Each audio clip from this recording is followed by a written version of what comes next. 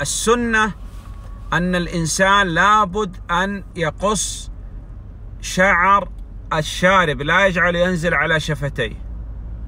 Então, uh, o sunnah é não deixar uh, a pessoa deixar os pelos crescerem sobre o, os seus lábios. نتف الإبط هذا الشعر الذي ينبت هنا لابد أن يأخذه. هو والذي ينبت حول القبل.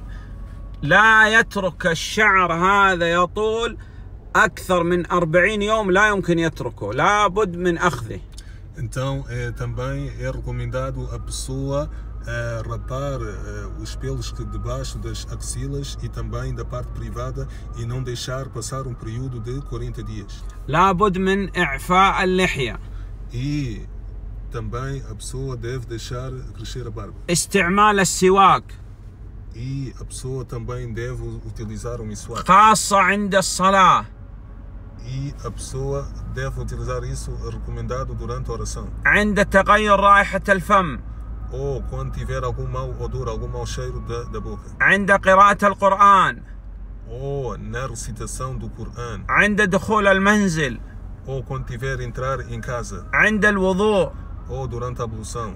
يستحب السواك في كل وقت É aconselhável o siwak, utilizar o siwak durante toda a hora. الدين الإسلامي يحث على الطهارة على النظافة Então, a religião do Islão recomenda, incentiva sobre a purificação, sobre a pessoa estar limpa.